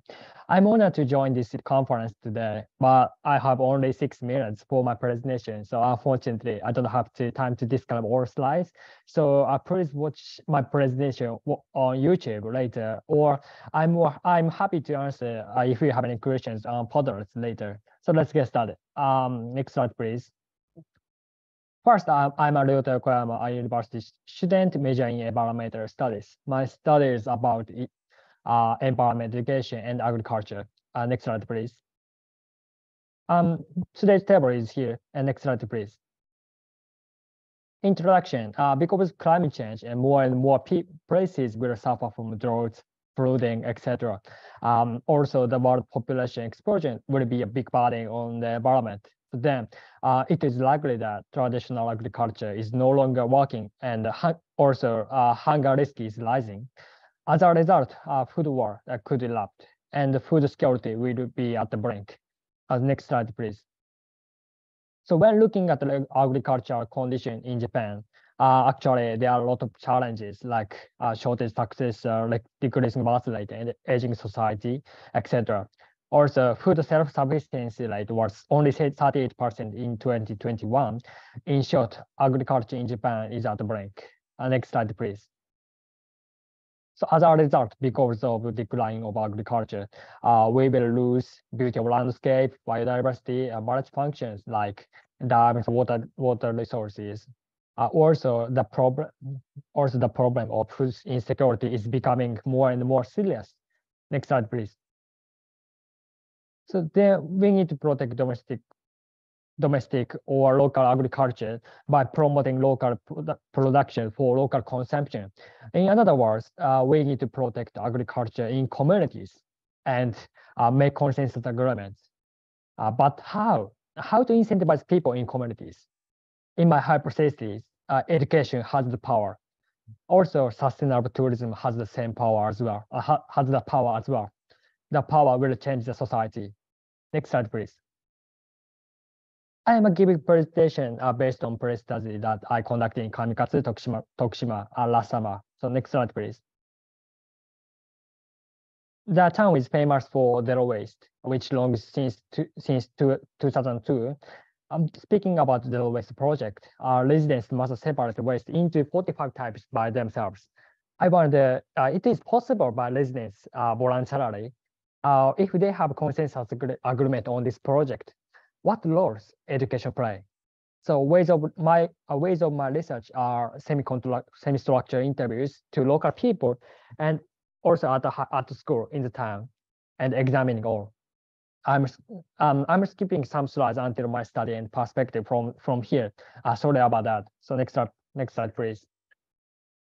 Um, this slide is, is about the Kamikatsu Elementary School and Junior High School. Um, next slide, please. Also, uh, this slide is about ecotourism in Kamikatsu. Next slide, please. And the result of interviews. And next slide, please. And examination. And next slide, please. Same, same examination. Um, next slide, please. So from here, uh, here comes my study and perspective. Uh, local environment education, uh, LLE, which is environment education, uh, mixed local education, have power to change society. The education nurture uh, civic pride and the sense of the environment. Also, it creates a ripple effect or a spread sense of value in uh, eco-friendly lifestyle. Uh, for example, uh, center of circle are colored green, like uh, children uh, change their mindset. The, then people like parents uh, uh, change their mindset as, as well. And gradually the ripple effect develops to the community and be power of changing the society. Uh, more people have interest in agriculture or the environment. Next slide, please. So in my theory, uh, process of developing consensus agreement and locals uh, can be explained in a, a theory of dialectic. Uh, local people from outside, uh, like tourists, uh, inter interact each other and creates um, new perspectives. And keep on, keep on, um, this activity leads to consensus agreements uh, or local development. Also, if, if some tourists get fascinated in communities uh, through tourism or the education, uh, more people move to local area from city. In this way, local can tackle local decline and also uh, declining of agriculture. Uh, that, that is hopeful in my opinion. Uh, next slide, please. Uh, when showing my study by triangle, uh, here it is. Um, I study with focusing on relationships with subject and objects. To make outcome, um, I focus on tools, communities, or also um, in this triangle. So next slide, please. So uh, in my study outcomes are to, uh, is to reconnect our relationship with the environment and agriculture between uh, human and uh, sorry um and between environment and agriculture, also human, by using uh, local environment education. Um, next slide, please. So in conclusion, uh, using local environment education as a tool to change the society norm. Uh, students and tourists learn agriculture and get interested um, through uh, local, local environment education, like uh, agriculture experience. Uh, this education nurtures civic pride and also incentivizes people to protect the environment and agriculture in Japan, especially in the com in communities. So the education creates consensus agreements and the ripple effects and gradually uh, change the society in the long run. So I'm studying and examining the effect uh, by action research from now on. Uh, the purpose, yeah, uh, the purpose of my study is to make communities or region better or management better. Next slide, please. Here's a reference. So thank you for listening. Uh, if you have any, questions, I will answer them later on Padlets. Thank you very much. Thank you, Ryota, very much for, for your presentation. Very important issues, issues included there as well. I think we will go straight to the last presenter so we can almost be, be on time. Um, uh, our last uh, presenter is Morgan uh, Janowicz. She's a board member, partnership coordinator at Green Rev Institute and the coordinator of Future Food for Climate Coalition. So go ahead, Morgan, the floor is yours. Thank you. Thank you very much. Thank you so much for for the opportunity to be today with you. My name is Morgan Janowicz. I'm a partnership coordinator of Green Rev Institute, uh, the initiator of the Future Food for Climate Coalition. Green Rev Institute is a think tank based in Poland that works towards a sustainable food system transition. We're the members of seven international coalitions. We're also accredited next to the UNEP. Uh, I will present to you the topic about sustainable food system, which is the legislation for the broken food system. Green Institute connects the dots between uh, uh, climate, biodiversity, human and animal rights. We base our activities on the partnership and cooperation, uh, systemic activities, and the involvement of youth. Green Rev Institute initiated uh, the Future Food for Climate Coalition that consists of 76 organizations from Poland and Ukraine. It is the very first coalition in Poland that works towards a sustainable food system.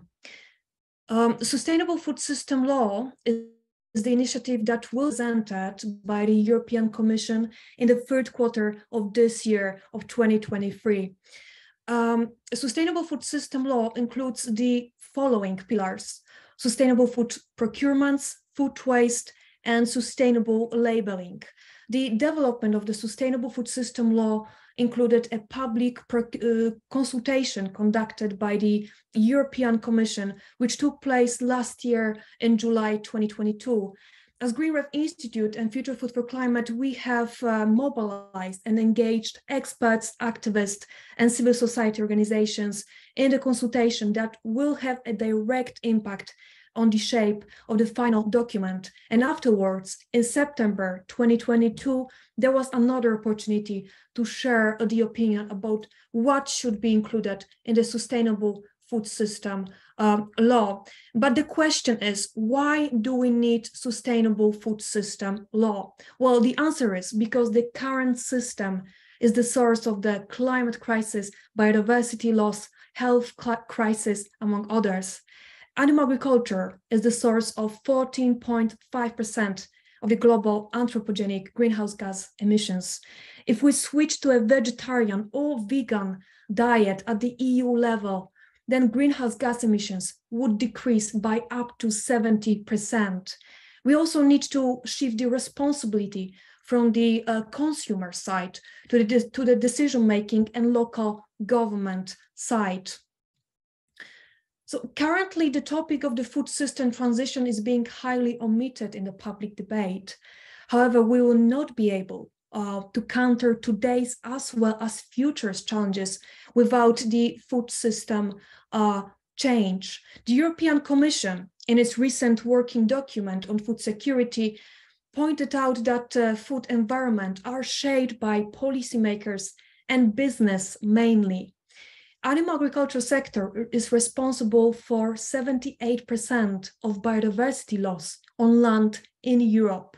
At the same time, looking at the broken system, we see that 3.1 billion people worldwide don't have access to the healthy and nutritious food. The adaptation of the certain measures within the farm to fork strategy and sustainable food system law gives us the opportunity to shift away from the non-sustainable polluting animal agriculture towards plant-based. And compared to previous years, there has never been more attention around the food system at the EU level than today. But of course, we have to keep in our minds, we have to be aware that business as usual will be present, certainly much more before the elections in the European Union in the next year. So in March last year, 2022, the link between animal welfare, environment, and sustainable development has been noticed by United Nations Environment Assembly when during the fifth session of the United Nations Environmental Environment Assembly in Nairobi, the Nexus resolution was uh, adopted.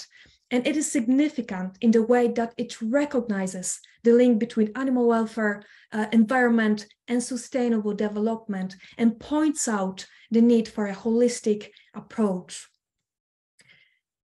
As Green Rev Institute, we strongly believe that there's no future without the youth and there's no debate without our involvement, participation, and implementation of changes. And this is why I wanted to present to you the Pilotage project, Green Advocacy Academy, that is an example of uh, how we can progress and bring the real change. So the project is co-funded by the European Union. The project brings together the youth aged 14, 24 from Finland and Poland. It consists of seven workshops and study visit to the European Parliament and the participation in the debate with the members of the European Parliament. So during those uh, workshops, more than 30 young people are being introduced to the importance of advocacy activities, of European Green Deal, including farm to fork strategy and sustainable food system framework. together with uh, inspiring experts, activists, and representatives of uh, organizations, we show a critical view on the current food system. To sum up, Green Rev Institute and Future Food for Climate are engaging all actors in the debate about food system transition through open letters, calls to action, roundtables, debates, expert panels, closed meetings, constantly engaging with new initiatives and organizations through partnership, cooperation, and, uh, and inclusion. We're also reaching out uh, through involvement in mainstream events and publications full of data, experts uh, that are open for everyone and everything to raise awareness and to bring the topic of food system transition to the public debate. We have to be aware that uh, of the fact that meat, dairy, and egg sector are polluters and uh, the source of today's and future crisis. The sustainable food system is plant-based. Thank you very much. Thank you, Morgan, very much for your punctual presentation uh, and very interesting presentation also. We had some some discussions about food also yesterday and in the uh, in the um, YouTube channel also from yesterday, and this kind of like contributes and, and continues from that. So thank you very much. Uh, that is all the presentations uh, that we have. And um, next I will invite my colleague from Karelia University of Applied Sciences, Lasse Okkonen, uh, who's a principal lecturer there in uh, energy and environmental engineering, to provide us a short uh, wrap up of what has been discussed today. So welcome, Lasse, and the floor is yours. You have 10 minutes. Yes, thank you. Thank you, Kaija, and thank you everyone for really interesting presentations. And, and it's my pleasure to um, wrap up and, and summarize some, some points from these, these presentations. So as, as we have heard, uh, there needs to be uh, quite an extensive and, and, and broad educational knowledge on, on climate change and its and, and on understanding its impacts in different uh, different regions and in different types of systems. These presentations on, on, on the, from the perspectives of agriculture, food production, local uh, tourism, also uh, uh, food food industry, crafting industry, textile industry. They all um, gave us an idea on, on how climate change is affecting uh, people, communities, and, and businesses. And, and, and referring to uh, Leo Kambona's uh, presentation on, on how this is a complex phenomena, and we need to have an um, strategy to adapt. There, there was really valuable, valuable um, lessons on, on how this can be done in different steps. There needs to be adjustment practices, limiting of, of harmful impacts, and also capturing of uh, opportunities that, that can be found from the adaptation. On the other hand, we need to have uh, strategies on, on, uh, on really locally tailored manner and, and also early warning systems like were, were mentioned in, in Professor Kalaba's uh, presentation. These uh, phenomena are quite complex and there needs to be understanding on, on system interdependencies and, and how, how these uh, systems are interrelated to each, each other. I think that uh, presentation from, from, um, from, from um, Africa and, and, and how the uh, temperature pests and, and impacts on the livestock and uh, all the way to the human economy and uh, and the household's future security, how they are interdependent. So there needs to be also a systematic uh, solutions. And I was really uh, happy to hear uh, different uh, strategies and, and, solutions for the adaptation the restoration practices in in uh, nature ecosystems and and agroecology systems, uh, organic farming systems, and also uh, habitat restoration in in ocean environments. They are all really interesting and and novel, practices. So we can utilize and use the ecosystem's capacity to restore, restore and renew activities and and operate in a climate smart manner even if it's a Finnish forestry or, or um, agriculture in, in, uh, in drought areas or in, uh, in uh, different types of uh, in environments. So youths are in, uh, youth is in, in key role in, in advocacy work as, as Marianela Pepe and Brigitta Gunawan uh, presented, this advocacy work is an essential part. And I was happy to hear also about the Green Advocacy Academy that is then connected to the more generic uh, uh, European policy processes. Uh, in uh, adaptation, we need to have uh, regenerative business models. And there were several examples of, of how businesses can be regenerative. There can be um, diversified livelihoods and value added to agricultural products to make them locally sustainable products, or in sake industry, utilizing the local culture, tradition, and sustainable practices that are based on the natural and cultural heritage. So we can look back also and utilize different uh, valuable uh, cultural heritages and, and practices to find adaptation strategies. And also connect the development to the sustainable development goals to, to, to consider the impact in, in a broader and, and in a comprehensive manner. The regenerative practices in local tourism are really uh, important and they also provide uh, visitors opportunity to uh, experience the local culture and heritage and also create their own positive impact. So as the regenerative idea is to leave things better behind that can be practiced in, in several sectors. Can, tourists can provide valuable insights to local, local uh, communities and they can also attend in the local environmental education and, and dialogue like uh, mentioned in Ryota Yokoyama's presentation. These uh, regenerative practices, they are also related to the economy. So this kind of new climate economy ideas and how businesses are affected by climate change and its its costs, they were presented, uh, for instance, by Ryusuke Inouchi in, in the cases of traditional crafts and silk fabrics and, and several, several sectors.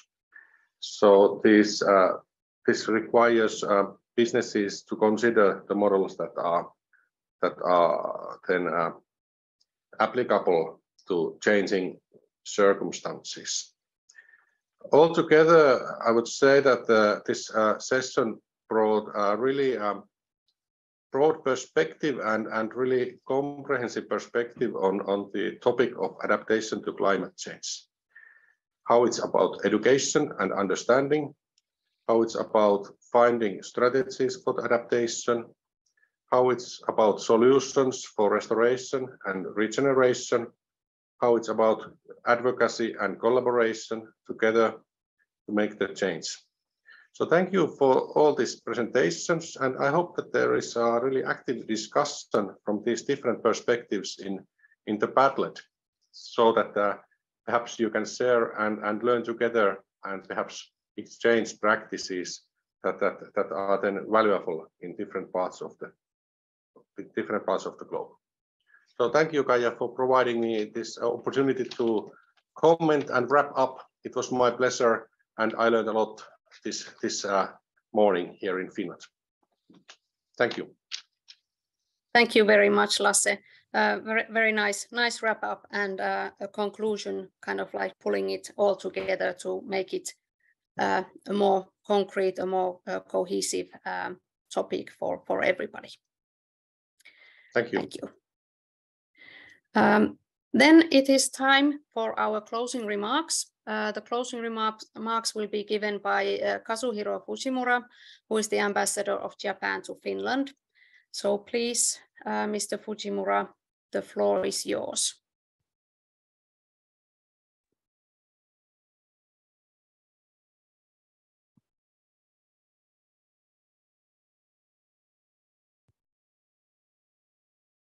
こんばんは、長野の皆さん、Huba Paiva to Karelia and all of Finland. Hello everyone across the world. 聞こえますか大丈夫ですか I am Fujimura Kazuhiro, Ambassador of Japan to Finland. Do you hear me? Yes, we can hear you. Okay. On the occasion of the closing of the International Zero Carbon Conference 2023, I would like to uh, say a few words.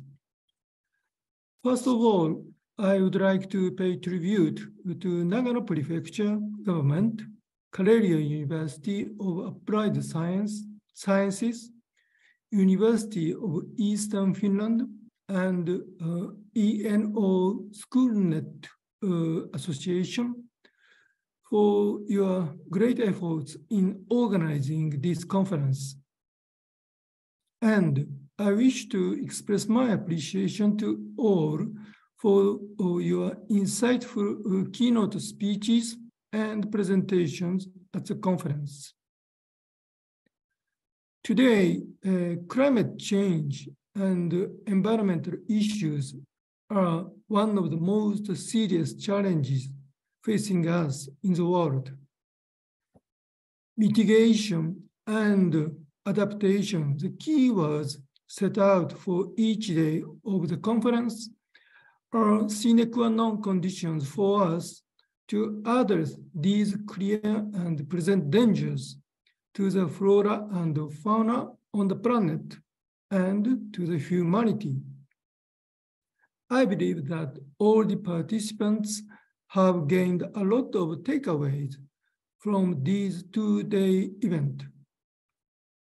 In addition, through these crash course meetings, I feel convinced that the aim of this conference to connect people from Nagano Prefecture and North Karelia, Republic of Finland, and from all over the world to learn together about climate change and environmental issues facing humanity to consider solutions together and to trigger action has been successfully achieved. So let me say to you all, congratulations.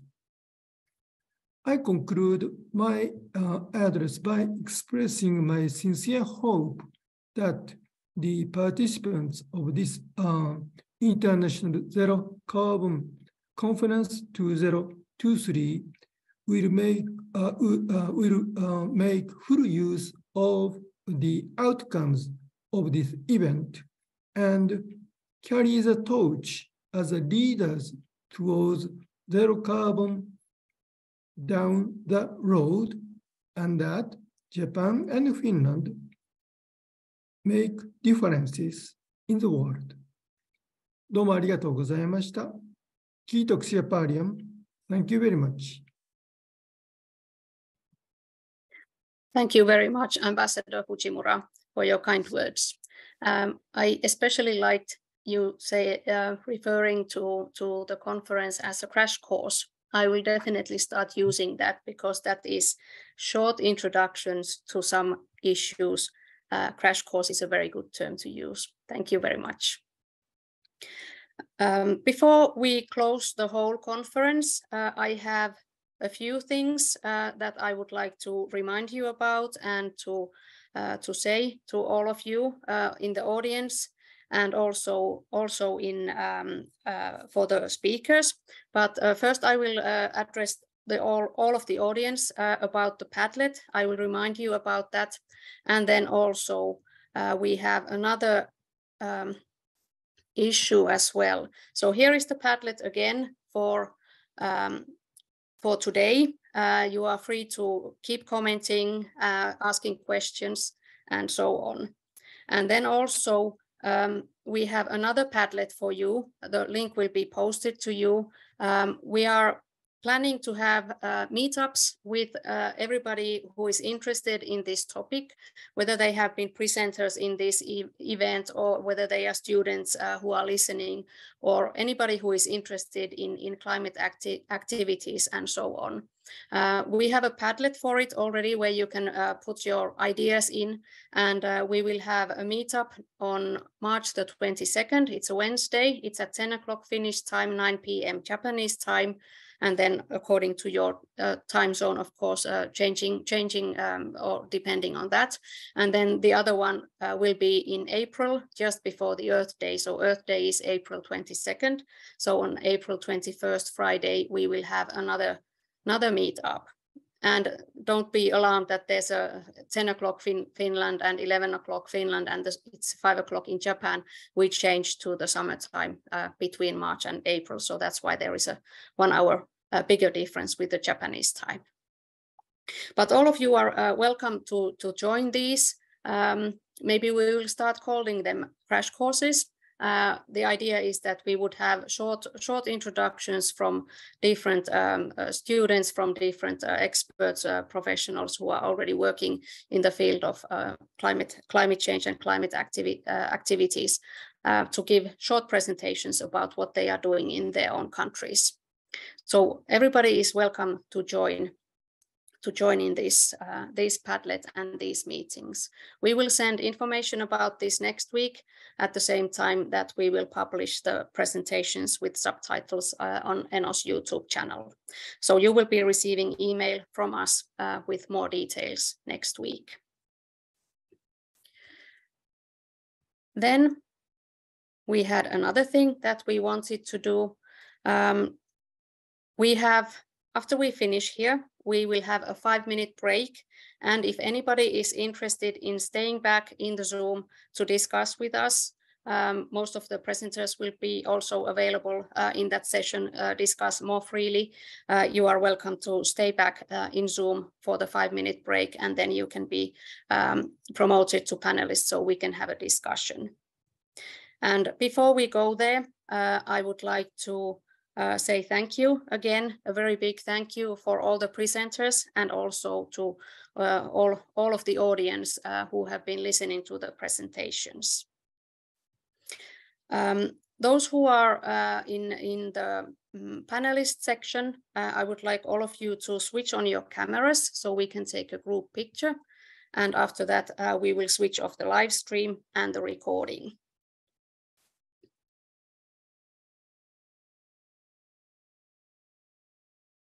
And then I will still need to find the correct place to. Okay, let's wait for Annie to close the curtain. Okay, and then how do you say uh, cheers or, or smile or cheese in Japanese? Uh, you are muted, Tomoko. Uh, yeah, we say cheese, hi cheese. Okay, so cheese.